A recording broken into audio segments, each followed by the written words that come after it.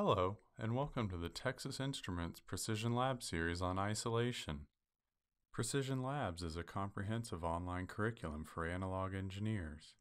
More videos can be found by going to ti.com slash precisionlabs. In this video, we will discuss what isolated amplifiers are and when to use them. This video will cover the basic aspects of isolated amplifiers. First, we will talk about what an isolated amplifier is. Next, we will discuss when, where, and why isolated amplifiers are used. Third, we will cover common applications for isolated amplifiers. And fourth, we will cover the key electrical and isolation specifications for isolated amplifiers. Let's start by defining what an isolated amplifier is. An isolated amplifier is a special function amplifier with an output separated from the input circuitry by an isolation barrier which is highly resistant to electromagnetic interference. This interference, also known as EMI, is caused by external sources and when ignored can degrade the performance of the signal chain or cause errors in the data.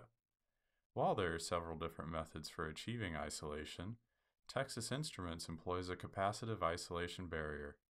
The purpose of the isolated amplifier is to provide protection against electrical shock hazards in high voltage applications or isolate parts of circuits or different circuits from each other by breaking the ground loops.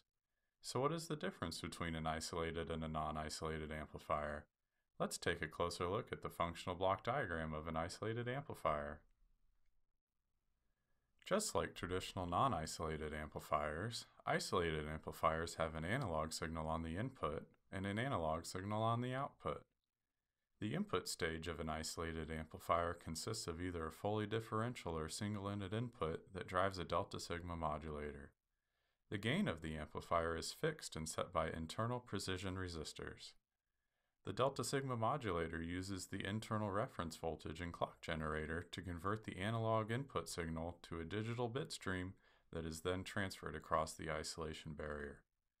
The bit stream is processed by an analog filter on the low side of the isolation barrier and presented as a differential analog voltage at the output. Texas Instruments capacitive isolation technology offers two different types of isolation barriers, basic and reinforced. Basic isolation is implemented with a single capacitive barrier, while reinforced isolation uses two capacitive isolation barriers in series. For more information on types of isolation, please check our basic versus reinforced isolation Precision Labs video. Isolated amplifiers are widely used in many industrial and automotive applications, but why are they needed? One common reason for using an isolated amplifier is to break ground loops. Electrical installations can cause large ground potential differences between two remote nodes, ground 1 and ground 2. A direct connection between these two grounds closes the ground loop. Equipment like electric motors can inject large noise currents into the ground, thus creating a ground loop current that can appear in the signal path. Isolated amplifiers remove the signal path noise from the ground loop and protects the system from ground loop potential difference. A second reason for using an isolated amplifier is protection against high voltage. When industrial equipment is running at hundreds of volts, isolated amplifiers can safely withstand high voltage surges that can damage equipment or harm humans. Here are some common examples of applications for isolated amplifiers, current sensing and voltage sensing.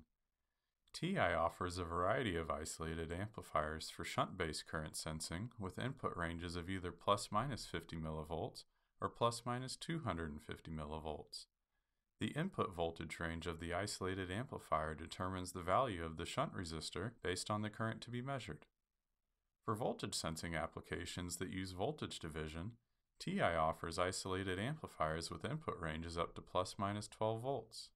For additional information on isolated amplifiers, please visit ti.com/isolation and click on the Isolated Amplifiers link.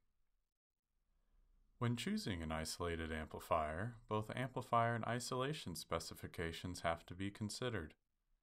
Let's start with defining input offset voltage.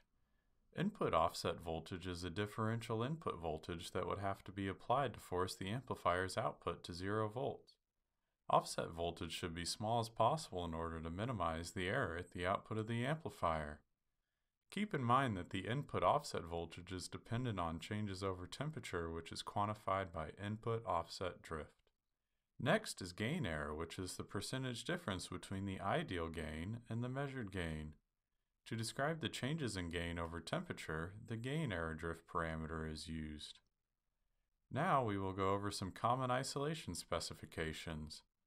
First, we will consider isolation working voltage, which is the maximum voltage defined in volts RMS that the isolated amplifier has to handle on a continuous basis throughout its operating life.